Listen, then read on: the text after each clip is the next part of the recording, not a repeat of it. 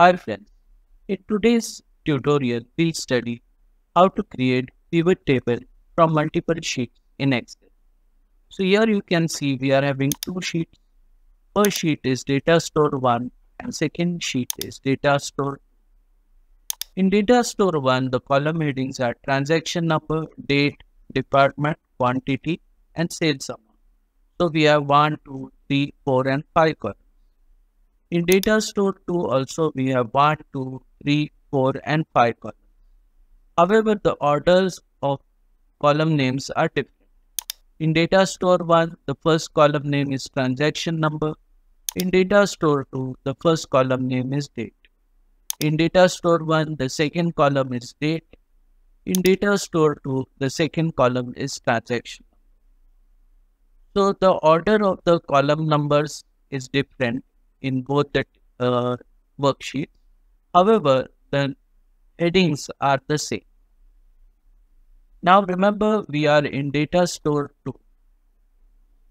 First thing we'll do is we'll convert this into a table. So we press Ctrl T for, for uh, creating a table and we'll select OK. We'll give the table the name as store 2 and we'll hit enter and we'll change the formatting to light. Then we come to data store 1. Again we press Ctrl T. We'll click on OK. We change the table name to store 1 and we'll hit enter and change the formatting to light. Remember, we are now in data store 1. Now we click in the menu in the data tab and in get and transform data. Here we select from table range. So this will start the Power Query editor and it will load the current worksheet that is data store 1 will get loaded. So you can see store 1 data has got loaded and over here you can see in the date column it is showing you date and time. So we click on this change data type and change it to date. Do you want to replace the current? We'll select replace current. So now you can see it is date. So this is correct. Department is text is correct. Quantity is numeric is correct and sales amount is also numeric, it is correct. Now, if we click on the earlier step, you will see this is a command of Excel to load store 1. So what we'll do, we'll duplicate that command by selecting duplicate and we'll click on the second table, click on source and change the store name from store 1 to store 2 and hit end. We'll also change the name of the table to store 2. So now this is data from store 2. So date is correct data type, transaction number is numeric, department is text, sales amount is numeric, and quantity is numeric. This is okay. Now we want to establish a relation.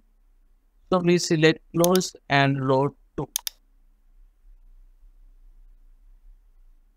Now one dialog box will come.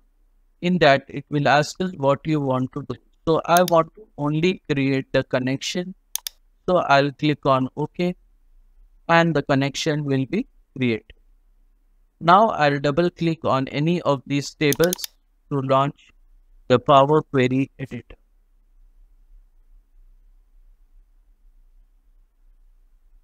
Now I want to create a new table which will be uh, the total of all the records from store 1 and store 2.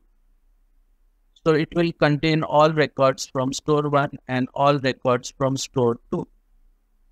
So we'll have to create a query and that query is called as a append query. So we click on append queries and we'll select append queries as new.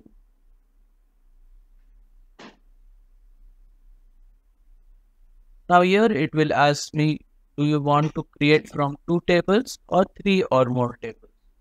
So we want to create two tables. First table name is store one. Second table name is store two. And we click on OK. So notice over here, one new table is created called as append and it contains all the records from store 1 and store 2. Now once we have got this, we can go into close and load to. And this time when the dialog box comes, we'll select that I want to make a pivot table report. I will click on OK. And now we are into pivot table and we see the table name. Now what I want, I, if I want the sum of quantity from both the tables. So I get it over here. The sum of sales amount from both the tables, I get over here. The sum of transaction amount, I get it over. Now what if I want store wise? Store one, sum of quantity, sum of transaction, sum of sales. Store two, we want the similar data. So for this, we'll make one change we'll click on data store one and we'll click on double click on any of these tables. This will take us into the Power Query editor. Now remember we are in store one. So we'll add one column. So we click on add column and we'll select custom column.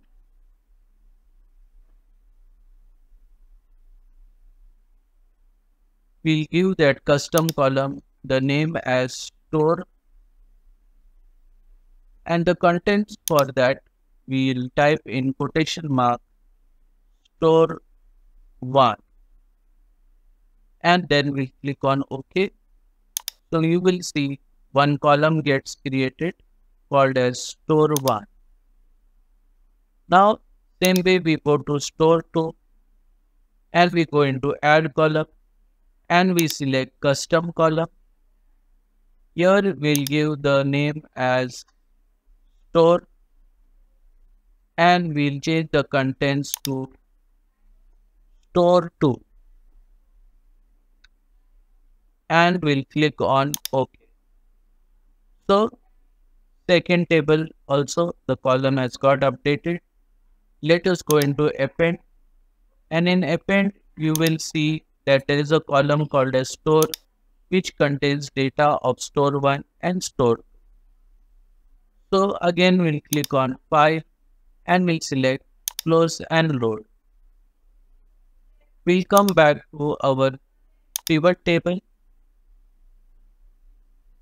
and over here we'll right click and we'll select refresh. So you'll see one column gets added for the store I'll move it to filters. Now, if I want to see data from store 1, I'll click on store 1. If I want to see data from store 2, I'll click on store 2. If I want to see data from both the stores, I'll select all. So friends, in this video, we have seen how to create a pivot table from multiple sheets in Excel. Hope you have learned something new. If you like this video, don't forget to like, share and subscribe. And we'll see you again in the next video. Till that time, goodbye.